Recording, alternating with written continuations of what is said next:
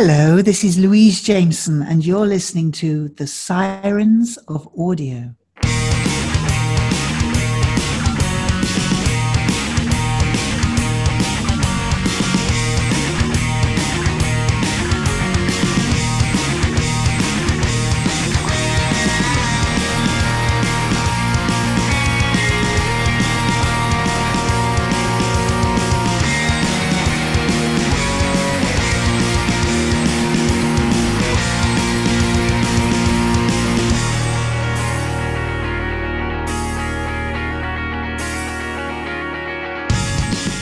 G'day, audiophiles. This is the Sirens of Audio, and my name's Dwayne. I'm your host, and hosting alongside me is Philip. How are you going, Dwayne? Good to see you.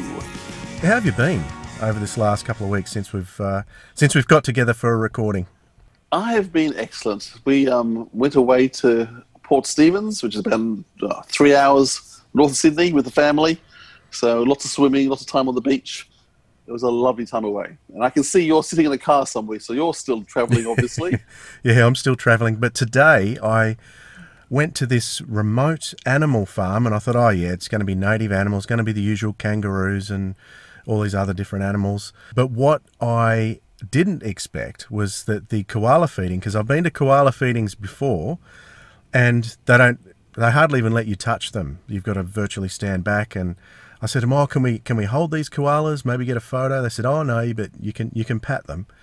Anyway, we went up to the koala feeding, and down come these two koalas with little babies on their backs. It was the most gorgeous thing I'd ever seen, and we could we were allowed to touch them, pat them, get right up in their face, and I couldn't believe that the mothers just didn't care. They're as tame as anything, and it was something I didn't expect to experience today, but I'm very glad I did, and the, and the kids loved it too. It was awesome. Yeah, it's interesting. I went to a koala sanctuary last week with the kids. So there's a hospital, a koala hospital for sick koalas. We visited there, and I learnt. I, I thought I knew a lot about koalas, but they've obviously done a lot of research since last time I looked into them. And yeah, lots lots of interesting interesting information. I don't know how they survived because they really are a unique, useless species.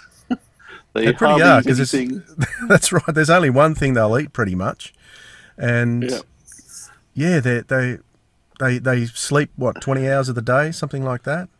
So, yeah, well, what they eat's poisons to them. It's just it's just that they've got bacteria in their gut that deals with the poison. But for any other species, what they're eating is deadly.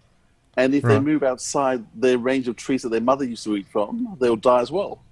So they're actually limited to the trees that the, their mother eats from when they're born. It's just yeah. Anyhow, we're not here to talk about koalas.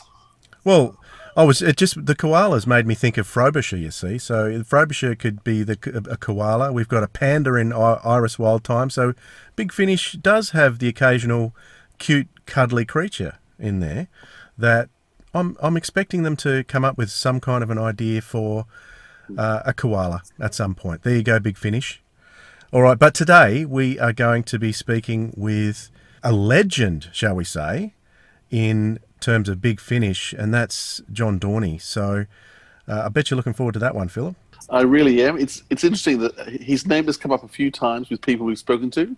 I know Louise Jameson just adores John, and she can't speak more highly of him. His name's come up with other people as well, and his output is amazing. So, yep, I'm looking forward to speaking to him. We should get to it. Yeah, it's going to be great.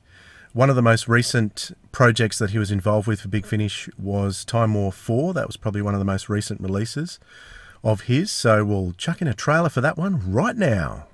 From Big Finish Productions Doctor Who The Eighth Doctor Adventures The Time War, Volume 4. We are from another universe. One that was at war, or rather, one that had recently been at war. We have knowledge of the future. We have to take advantage of that. Ah, Davros, there you are. You're up. You surprise me every day. The time strategist, he's coming for you. Stop him! They're all going to die if you let him do this. You are the doctor. You are the enemy of the dark. Now listen, listen. You don't look quite yourselves. I- am sure if we had a chat, we. it's party time. Shut up and don't move. Uh, sorry, who are you? You don't know? Never seen you before in my life. Stop! Come on, make a move. I'd love you to find out exactly what a Dalek gun does to someone. Exterminate! We will return, restored, stronger, immortal, and we will rain down fire upon you and all your people! Big Finish. We love stories. Whole planets have shifted. Some have vanished altogether. War is over. But there is no peace. Listen, thanks so much for your time. Really My pleasure, appreciate my pleasure. you Thank talking you to for us. having So, uh, what I'd love to start talking about is just in terms of um, we've told us a bit where you come from. So, you've got where, where were you raised, brought up, and so where, what's childhood like for you? Um, well, I was I was sort of always um, kind of Londony. Um, I was brought up kind of on the fringes in a town called Epping, which is genuinely at the moment, though it wasn't then, the furthest you can pretty much go. I'd say east north ish. Um, on the underground, it's the end of the central line in in, in London. Um, and that's where my family lived. It was probably um, the, the the cheapest way of living on the fringes of London. My mum uh, was a Londoner um, from a sort of working class background, and still insists that she's working class, even though she clearly isn't. Um, and my dad, yeah, my dad was um, an environmental health officer from Australia who'd come over and met my mum doing um, amateur dramatics. Uh, so I was basically brought up in, in initially for the first ten years right on the fringes of London, then slowly moving out into what they call East Anglia, um, which is kind of the, the bit on the right.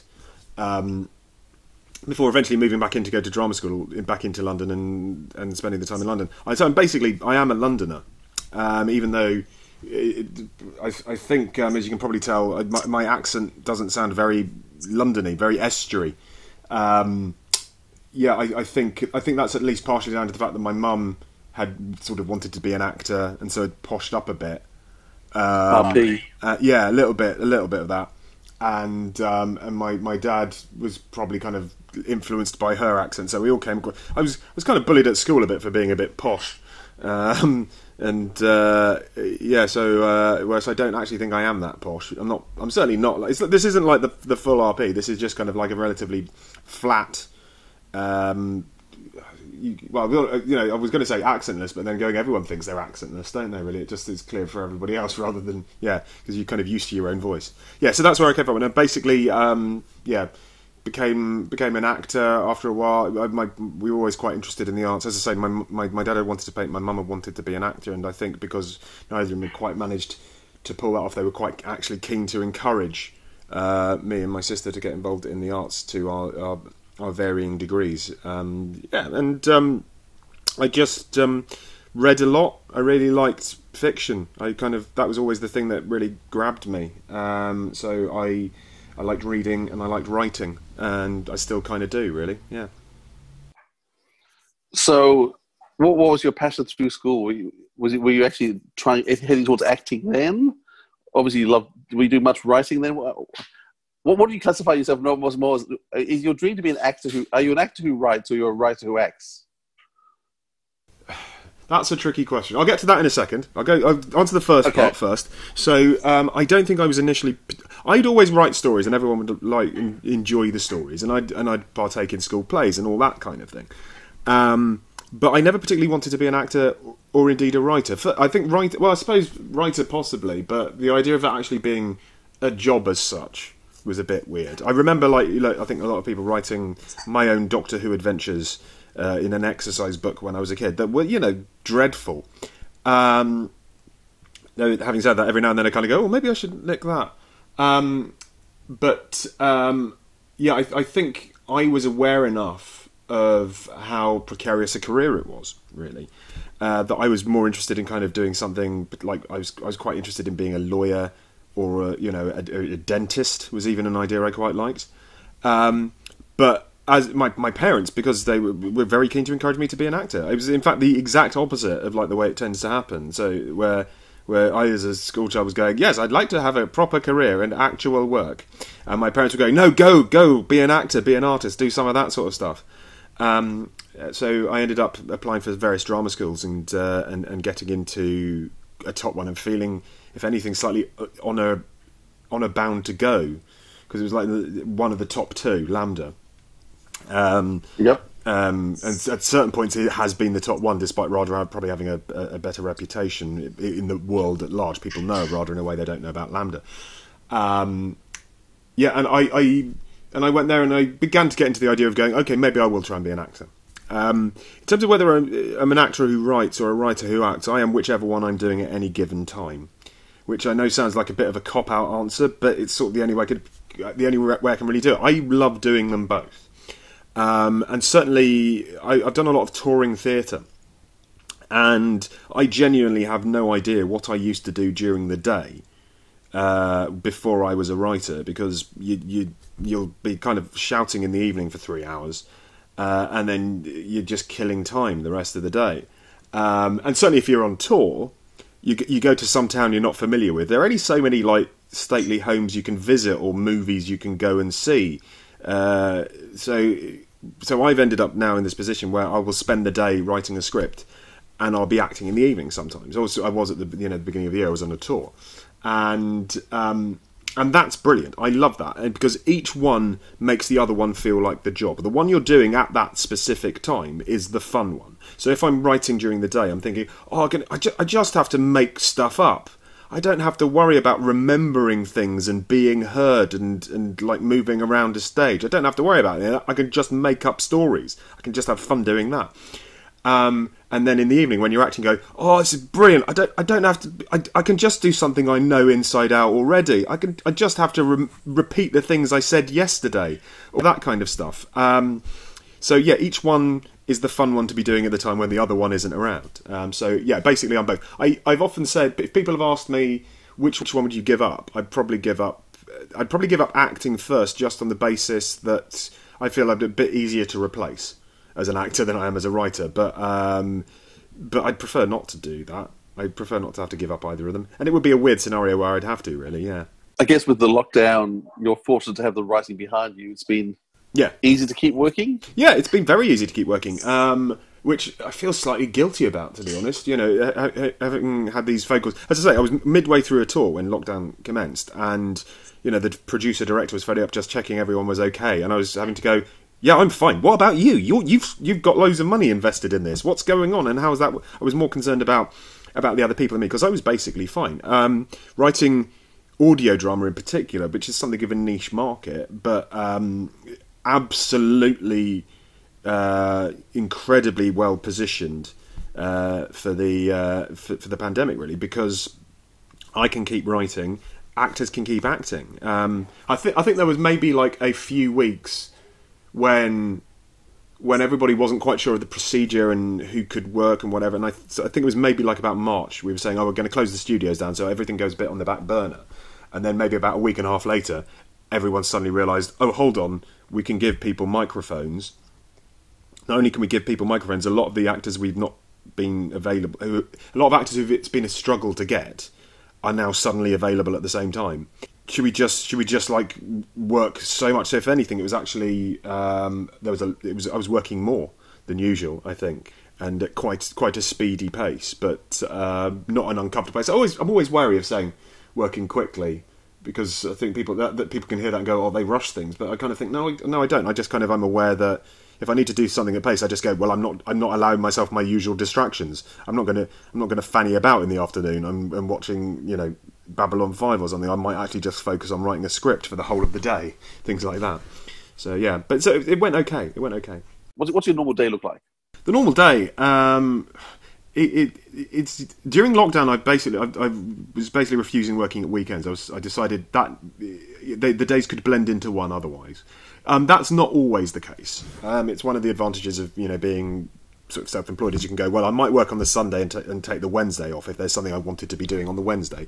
Um, the arbitrary choice of Sundays and Saturdays as a day off is a bit weird, but usually what I do um, is I sort of get up and generally mooch into the day. I, I have what I talk about being an imaginary commute. I realised several years ago I wasn't reading as much as I used to be, uh, and at least part of that was down to the fact I would only read on trains and because I was working from home, I wouldn't go on trains that often. And then when I was on the train, it would be a little bit of an effort getting back into the book I'd been reading, so I'd end up doing a Sudoku or something. Um, so what I ended up going was, you know what? I took it as a as a New Year's resolution. I thought I, I will read a bit every day, I'll sit down for half an hour, unless I'm actually going on the train that day. In which case, I go, no, my, that will be a genuine commute. I'll read on that commute. Uh, but I basically would sit down and spend half an hour reading whatever book I was reading at the moment, and you know that can expand, expand or shrink or whatever it is. And um, and this year, because of lockdown, I've ended up like doubling the amounts. Not not least because I wasn't getting through the books quicker, quickly enough. I've got an enormous pile of about 500 books to get through, which would take me beyond my life at the moment, and it's really hard reading when you're dead. So um, I, I thought I'd probably like double it up. I think I, I was again during the the early stages of, of lockdown. I was reading Tom Jones um, for research for the podcast I do, which is about the best picture winners, and Tom Jones had won best picture at the Oscars. Um, and if you look up my name on Twitter and, and Tom Jones, you'll see that I semi live tweeted reading of it because it's it's borderline unreadable. Um, at the same time, kind of clearly quite good, but but basically unreadable. Um, and I just felt that I can't be doing this for fun. I've got to read something else. So I, I racked out um, the Sally Rooney book, Normal People, because that was being a, being shown on TV, and I thought, well, I'll watch this and then watch the the TV adaptation, which somehow manages to take longer to watch than to read the book, which is rare. Um, but yeah, that meant I was, was doubling up the hour. So I do that in the morning, and then usually around about eleven, I make a cup of tea to persuade myself to actually do some work and do some writing, and feel that I'd probably got bored enough dicking around on the internet for the morning, uh, and then. I, I try to aim for about a thousand words a day at the very least, which is a, quite a small amount. Um, but then I'm doing other things, and and but otherwise, depending on the, the, the sort of schedules, I can then zone in a bit more. Um, and uh, and focus in. And I've, i think the most I've got to is something like five thousand words in a day.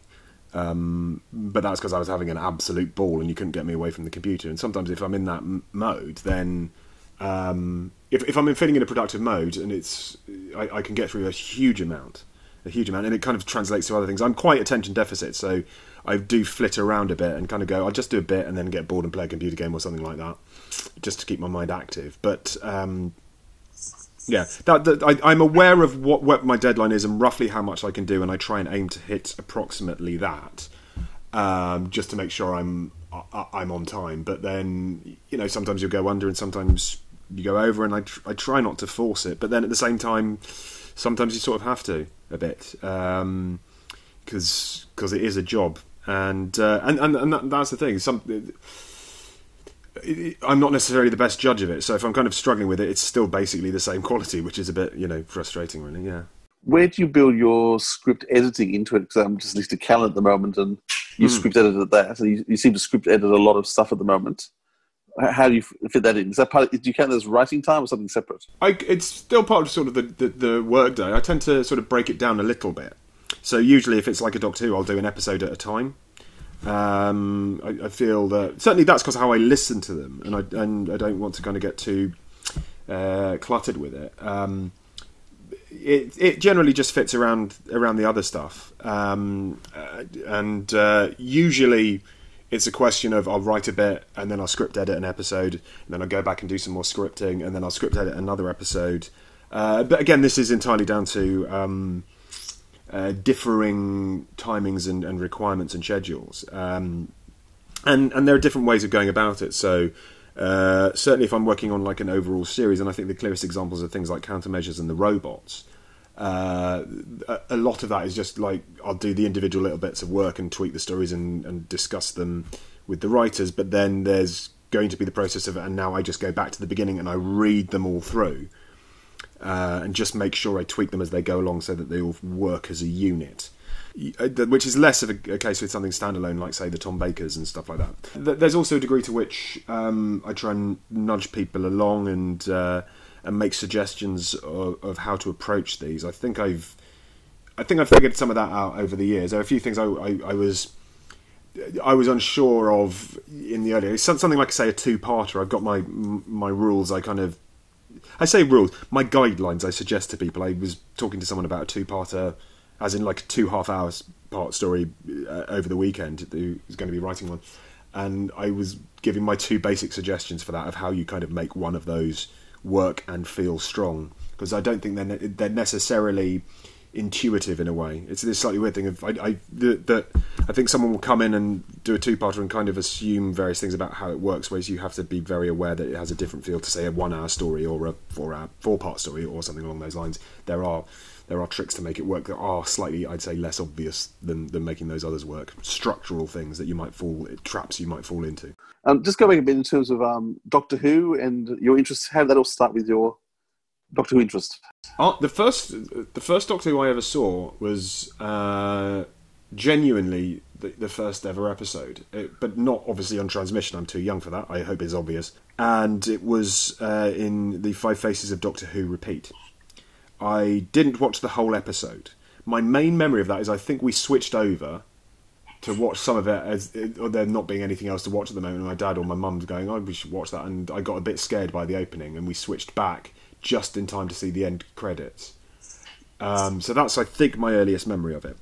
Uh, the first one I actually properly watched was a few episodes later. It was Carnival of Monsters, uh, which stuck in my head. And oddly, if I remember rightly, um, they showed Carnival of Monsters and Three Doctors the wrong way round in Five Doctors, in five the Five Faces of Doctor Who season.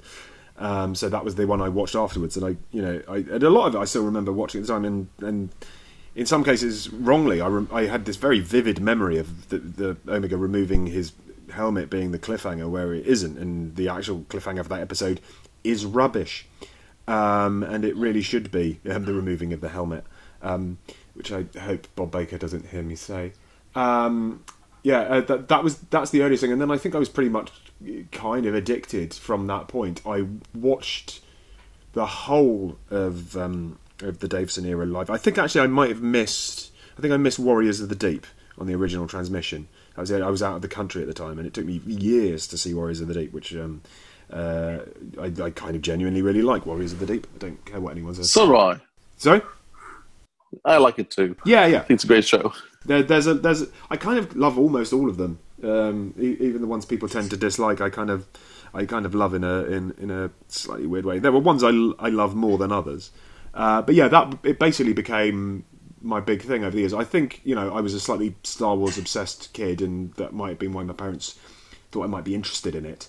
Uh, but it somehow got my imagination more than Star Wars ever did. I think I think the wealth of other stories to explore, whether that was via um, uh, you know the novelizations or copies that a, a guy who worked with my mum in, in the library had that he could loan me so I could watch some of these old episodes um, or reading the comics, everything. There was such a wealth of material uh, that was easy and, and regular to access um, that, that, Doctor Who always kind of became, you know, the, the, one that was always going to be there for me and the one I loved more than the others, really. Um, so that was that was my way into it, and I yeah I um, obviously spent ages watching watching the classic series right up until you know the end of um, you know survival a decade or so later. Okay, so you went to acting school to the London London Academy of Music and Dramatic uh, Art. Yes, that's right. Which I think Peter Davison went to as well. I don't think Peter did. Uh, oh, I could be wrong.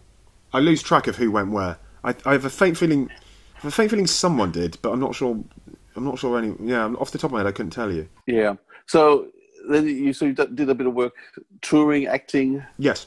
Um, first couple of years of young life. How did you get connected then with the Big Finish? Um, it's through a sort of slightly roundabout way. Uh, there are various things that happened in terms of acting. I, I, um, I bumped into Gary Russell at a convention in Sydney, Australia, as it happens, and and got chatting and got on with him quite well. Uh, I decided to not kind of push the I'm an actor and I'd like a gig thing because because you're obviously going well I'm just getting on with this guy as a person I don't want to kind of spoil that and then emailed him a bit later on um, I think I've talked about this somewhere else recently. I can't remember where. Um, that I, I end up like getting a phone call from him saying, "Would you like to do a big finish?" And and that was at the time when they'd like taken in open submissions uh, for writing as well. So I didn't know whether I was coming in as an actor or as a writer. And I was as an actor in this story uh, that became Faith Stealer, which is a lot of fun and I've still got a lot of affection for. Um, but yeah, that was how sort of Big Finish came. I, I roughly around the same time as I'd left drama school was when um, Sirens of Time was released, and so I still remember sitting in my old drama school flat listening to the CDs. I didn't even have a CD player at this time. I borrowed my flatmate's CD player uh, to be able to listen to them on CD. Um, and um, yeah, it was a it was a very exciting time to be a Doctor Who fan, as I recall. Um, and I loved these. I absolutely loved them. I'd not had, I'd never quite connected as much with the novels. I think again, well, I'd, I'd read all of the New Adventures and the, and uh, not quite all of the New Adventures actually. I missed the Dying Days and I missed Cold Fusion.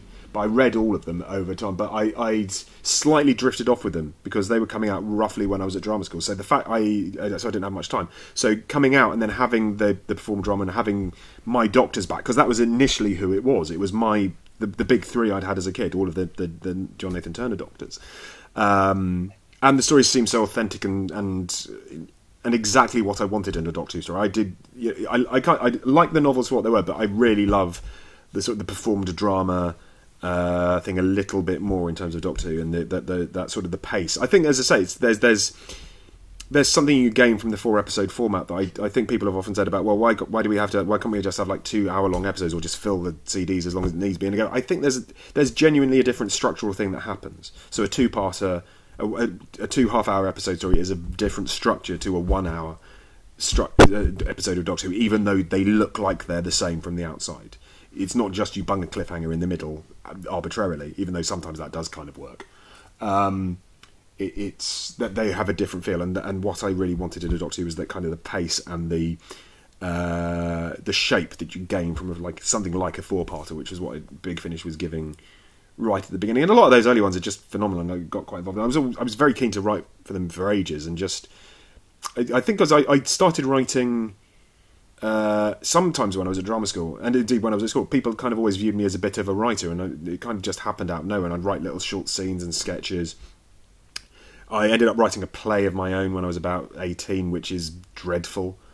Um, and then ended up writing a play I quite liked when I was about 21, when I was signing on and had, didn't have any acting work after I finished drama school. I just wrote this play that ended up um, getting performed as a, part of a Young Writers Festival at the Royal Court, which is you know a big theatre in London. And uh, and from that, winning another competition to write sketches for a radio show, all of which meant when I was submitting stuff to Big Finish in 2003 or 5 or whenever it was they did this open submissions thing, meant that I didn't get anywhere because I kind of rather arrogantly assumed I go, well, if this idea isn't quite right, it might need a bit of work, but you know, they'll see I've got a good CV and I might get in on that. No, obviously they got so many people sending in stuff that was bang on perfect, or or they'd worked so much harder than I, weren't arrogantly assuming they could they'd be allowed to fix it in, in the edits. Um, that, that, that, I didn't get anywhere with those. Um, and I think that's always a that's always a rule in terms of um, if anyone listening is interested in submitting stuff um, uh, to Big Finish. if it's something like a Paul Spragg or whatever, you are up against a hell of a lot of people.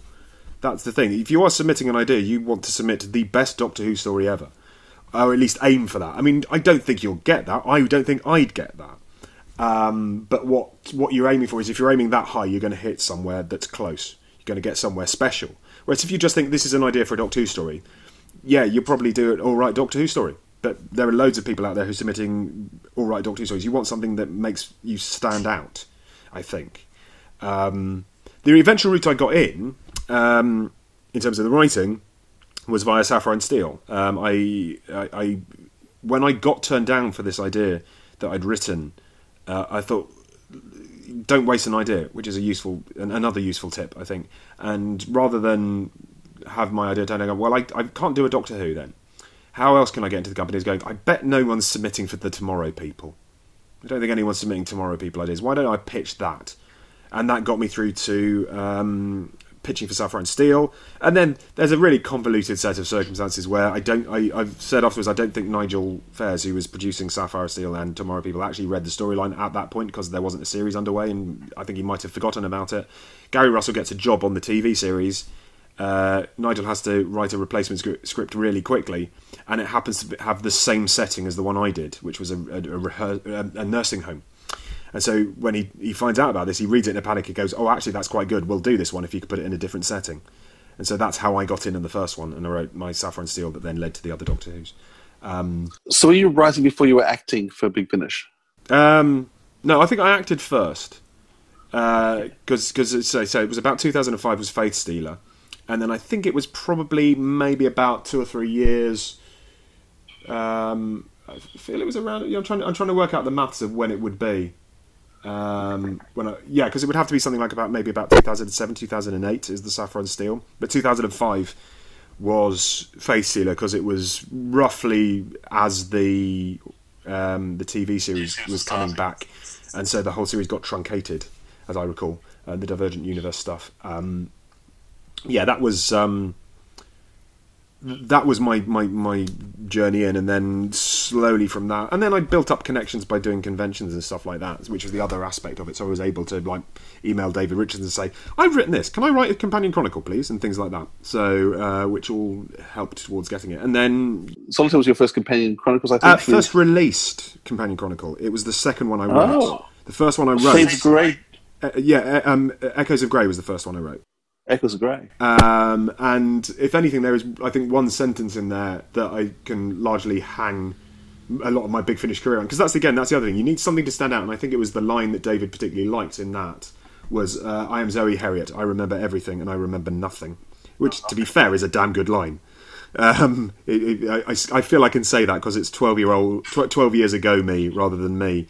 Um, I kind of anytime I listen back to anything that old, like listening to Solitaire again at some point, maybe like about five, six years ago, I would just went, "Oh, this is quite good." I've no idea who wrote it. It isn't me, because it feels very different. It, you, the, the world has moved on. My way of writing has moved on, so it's always changed. Um, that was, I think, the bit that got that for whatever reason. I think David really liked that script and uh, then asked me back to do Solitaire. And Solitaire was, I think, the one where it all just came together. It was a, it was a very um, fortuitous thing. I'm a massive sort of board gamer, so the idea of writing for the Celestial Toy Maker kind of absolutely fitted into what I wanted to do really well. Because I'd also thought about a lot about games and about how there, there was like a particular thing I'd done on tour where we'd been playing a game of Trivial Pursuit, and I found it really fascinating watching how it affected different people and how I reacted and how other people. There was a, um, there was a woman there, a woman in the cast who was very determined that she was the smartest person in the room because she was a professor of something or other at some sort of university and hadn't clocked that one of the other actors was you know an Oxford educated historian who just happened to go well I'll just become I'll just do Trivial Pursuit no I'll just become an actor and we are playing this game of Trivial Pursuit and um, the Oxford educated one wasn't giving too much of a toss about it. It was like giving clues to everyone, which would annoy me because I think, no, I want to get this right. I want to get this right. I don't want clues. I want to know it. Um, and then because there's there's that part you go, no, I want to play the game properly. I don't want. I, I don't see the point of doing it if we don't play it properly, which was my, is my kind of vibe of it. And then the woman who wanted to be the smartest person in getting re- terribly annoyed about any like minor in, in minor mistake or whatever. And kind of, there was a huge argument about whether kabuki theatre was a form of dance or a form of theatre, and it's just this bit of going, oh god, this is we're literally playing Trivial Pursuit, it, and so uh, and so it made me think a lot about how games work, and so.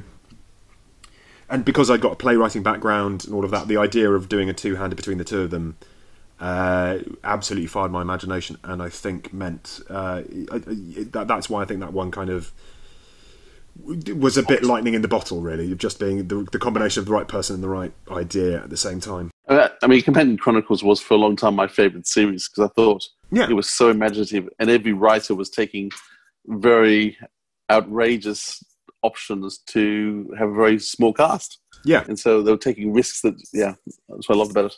Now, according to my um, rough looking, I, you've written over eighty-five shows for Big Finish, and you've acted in over fifty.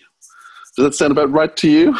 it's it's borderline. I I I, made a list uh, recently. I was quite curious. I think I might have just written my hundredth script. It depends how you count it, though. That's the thing. There- There's a point where you kind of go, well. I was looking at the list, going, well, I've got I've got the English Way of Death and Romance of Crime in here, and, and you know, do they count? Do they count? I don't know. And then other things you're going, oh, it is better watch out and Fairy Tale of Salzburg. Is that one story or is that two? How do they how do they add up? It's one. It's one. It's this One, thing. one. Yeah, I, th- I think it, it's it's a very tricky thing to add up. So I it, I think it's somewhere. Yeah, it's in that kind of ball, ballpark. Obviously, there are a few which have been written and and recorded that haven't been announced yet. There's, I think, definitely a few for like twenty. I think I've, I've got at least something in 2022. I think I've, I think I've got something in 2024 that's been recorded.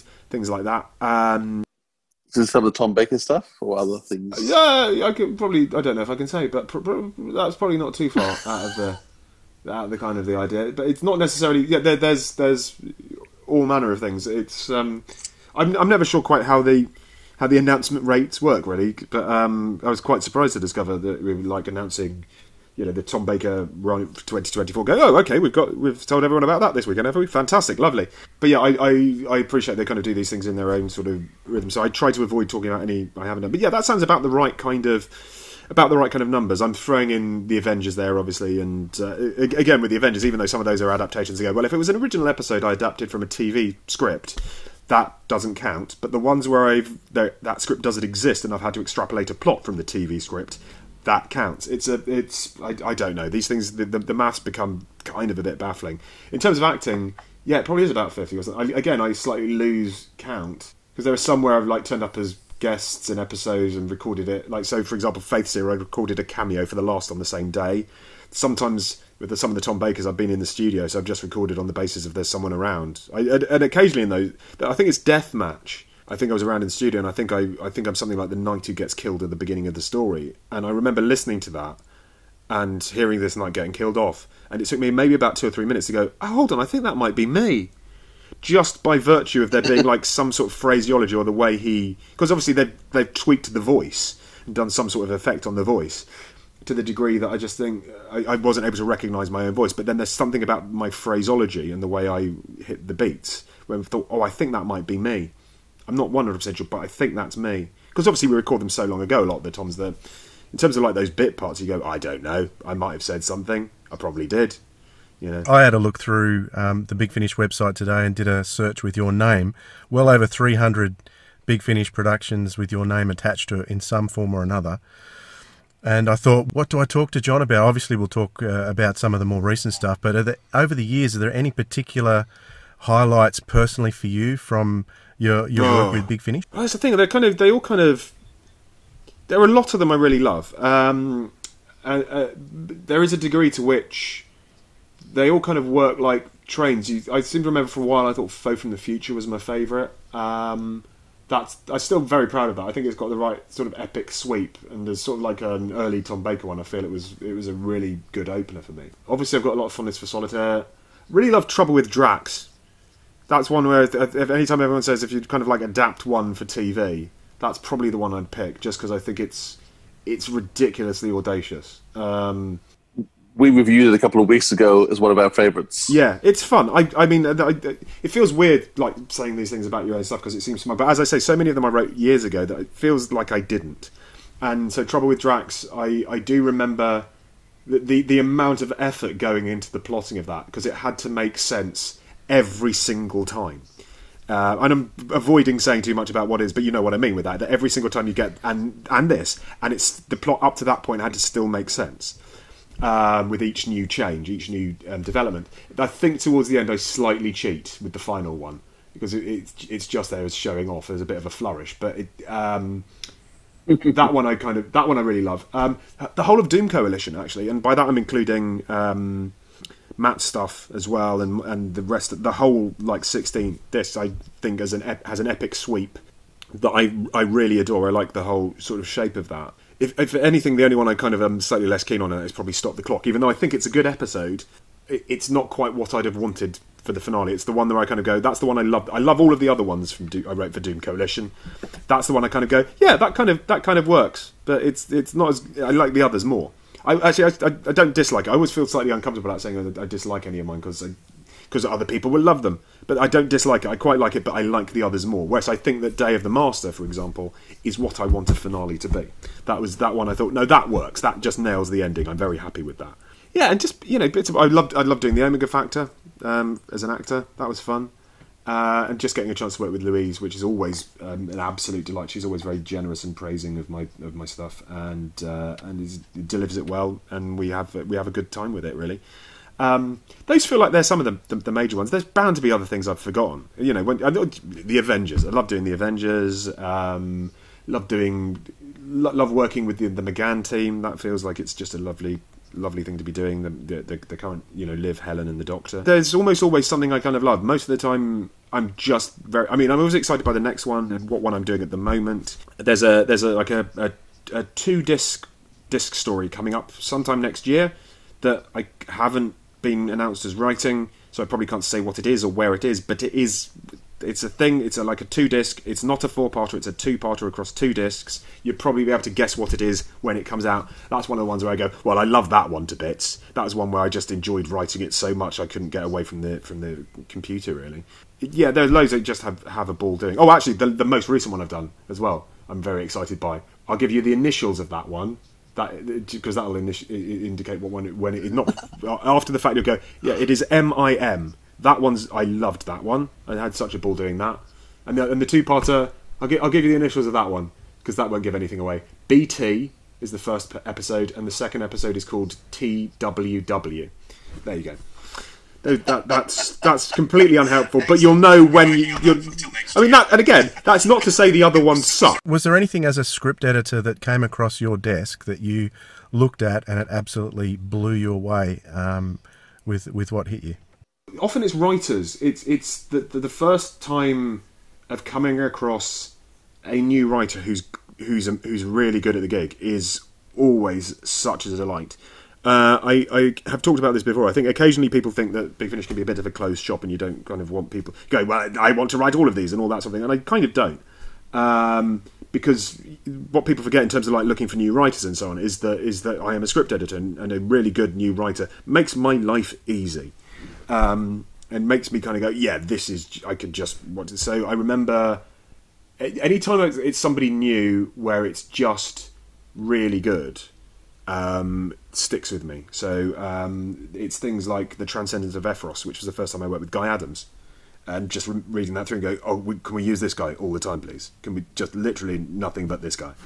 And you know Night Witches with Roland Moore. That's another one that was brilliant. And and you know Matt Fitton. The first time I, I worked with Matt Fitton was on Countermeasures, and again that was just came through, and it was really just lovely and clean and solid and amazing. I seem to remember even like the, there was another Matt Fitton script earlier this year, which I just remember coming through and spending an hour or so just reading it through the first time, and and I think I even tweeted about it afterwards, just going, well, that one's just gorgeous. And it's it's not going to be, it, and this to sounds it sounds in a weird way we're going. It's probably not going to be anyone's favourite episode. It's it's not going to necessarily win any awards or anything like that. It's just an episode that was so clean and clear and perfect. Uh, just as it's so well constructed and told, and uh, that I just got to the end and thought, "Oh God, he's just a master of this." Yeah, there, I, I'm. I'm trying to remember if there are any others that kind of uh, immediately leap at me like specific stories. It, it, it's usually just the sense. It's not necessarily the stories as much as the sense of reading these things, going, "Oh, this just is done so effortlessly and is pulled together so with such ease." You know, like doing occasional stuff in their fountain say or something like that, where, where it just feels like you know that that, um, that you're just watching. You, I always talk about certainly from a writing perspective, and sometimes from a script editing perspective. You think, well, I've got the best seats in the house here. I get to be the first person to. If I'm writing something, I think I'm the first person to hear that line of dialogue. And um, if I'm reading something, I go, I've got, I'm like one of the first people to read a script by this writer or this writer or this writer, and I'm feeling I've got this very privileged position uh, of, of working through it. Um, yeah, that's what that's the ones I kind of where, where it really kind of leaps at me and excites me. I'd say most of the time, yeah. Can we just bu- burrow into a couple of them a bit, a bit more depth? Because there's, a couple, I mean, yeah, that's fantastic. Um, of acting, Omega Factor was a big starring role you had over a couple of seasons. Um, how, how did that role come about, and how did you approach? Because I mean, I think Louise, Louise was falling into a, a character that she had played thirty years earlier, but yours was a son of a character. How how do you approach the whole leading man thing? Well, it's interesting. I mean, the part came about. I was just offered it. Um, I knew that they were doing the Omega Factor. I wasn't particularly involved. Um, it wasn't a series I knew terribly well, but I knew they'd been doing it. And um, then I think I got just an email out of the blue saying, "Right, we've been talking about this. We'd quite like you to be in it," um, which was a sort of a surprise to me. I've never particularly kind of like um, asked to be in things or kind of put my name forward for things. Um, so, you know, it was it was very flattering to be asked, basically, um, and I, I was obviously delighted to say yes. In terms of approaching it, it's I, I, there's not really a massive difference from how I'd approach any other part, really, which is just you know you read the script as often as you can, and try and say it out loud and talk it through and, and, and look for those the clues about the personality. But um, in in a good script, the character kind of leaps off the page at you a lot of the time. And that's what I felt with with Adam. I kind of got a very clear sense of him from very early on, I think. And that meant you know I, I was largely just led by being in the room and, and, finding my way into it. Yeah, I think that's just the way I tend to approach almost any part. Really, the, the, everyone is the lead in their own story. That's the other thing as well. You know, it, um, a, lead, a lead character is obviously the lead and has the most lines or whatever, uh, but a supporting role. They're the lead as well, so you shouldn't really be approaching it any differently. I don't think they they, they are the head of their own story. So um, yeah, just going over it. I did try and watch. I watched some of the episodes of the original series and just to get a sense of, of that. But again, largely it's just like going with instinct and let, being led by the script, really. And the scripts were so well put together, I, they, they just kind of did all the work for me, I think. Had you worked with Louise much before that? Um, yes, from the writer's perspective. I'd written and script edited a lot of her stories for the, the Tom stuff, and I'd written a couple of episodes of Jago and Litefoot that she'd been in, where I think we I think that might have been the first time we met. But uh, we'd always got on, and um, you know, sometimes I'd stay at her house when I was recording down in Tunbridge Wells and all that kind of thing. So um, it, it, was very much a kind of natural, relaxed re- re- uh, conversation we could have between the two of us. We got on basically very well. So um, yeah, that would um, that that that just made life easier. But yeah, we've definitely worked together a reasonable amount. But um, I got to know very well during that, and uh, you know, worked with her on a lot of things ever since, really. Mm. So a normal day for you as an actor. Um, so do do you generally record an episode a day? Is that how you it works? Or is it more complex than of a box set? A disc a day, a disc a day, depending on yeah. So if it's if it's an uh, that's not always the case. Something like say uh, the Sherlock Holmes I did, I think we did pretty much in one day for a two hours two hour script. But um, yeah, the uh, it, it's usually an hour a day uh, with occasional tweaking depending on circumstances. Yeah, that was that, that's how we did the Omega Factor as well. It's basically yeah, turn up whenever your call is, usually ten in the morning, and loiter in the green room until you're asked to do it. Sometimes so directors work in different ways. Sometimes it can be quite all over the script. Sometimes they try their very best to make it sort of chronological. Yeah, I was in studio. I think it was last week recording something, and literally in studio. No, it's a week and a half ago now. Um, time goes very quickly in lockdown, and um, yeah, I. Uh, I, I, think I was like in quite early on the beginning playing one character and then didn't appear for about half an hour in the script terms, and that basically meant that I sat outside typing a script of my own till about three o'clock until like post lunch before I was called back in to to, to give my performance again. Yes. Okay, so uh, it, there's. Uh, I was hoping this was going to be more Omega Factor, but at the moment it doesn't look like they has that ended. It's not more Omega Factor, no, no. Um, it's uh, as far as I'm aware, that's ended for the moment. There's always the possibility of it coming back for something else. Yeah, I'd say. There's something coming, Adam. Him, but not him. Coming soon from Big Finish Productions. The Omega Factor, Series 3. There are CCTV cameras being placed all over my office, my lab, in the corridors. She was discovered asleep. Yes, you said. Floating half a metre above the ground. She's been suffering from blackouts. Wakes up, no idea where she's been, covered in dirt. You are about 12 weeks into the pregnancy. No, not possible. But Hara needs support. She's getting. She needs to be seen for who she is. Her story needs to be listened to. Why are you here, Edward? What do you want? Pointless. Worthless. Without worth. Listen to me, Adam. I'm begging you. Don't leave me to suffer in darkness. I'm assuming Department 7 hasn't led Omega to what it's really after. I wish for Jake. Dead 10 years. I wish my mum was back too. There! Claire, you mustn't! You could stuff your experiments! Just send them away! Make them go! What's been trapped This is a power. I believe in the Holy Spirit. Feels like the whole place is being torn apart. You will submit. You will serve. Immortality. Big finish. We love stories. Time to play.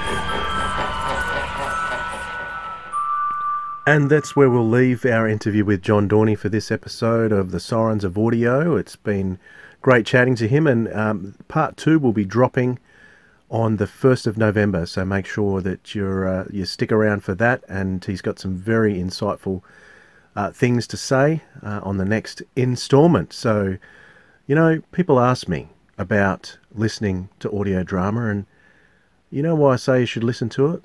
Because audio drama Rocks!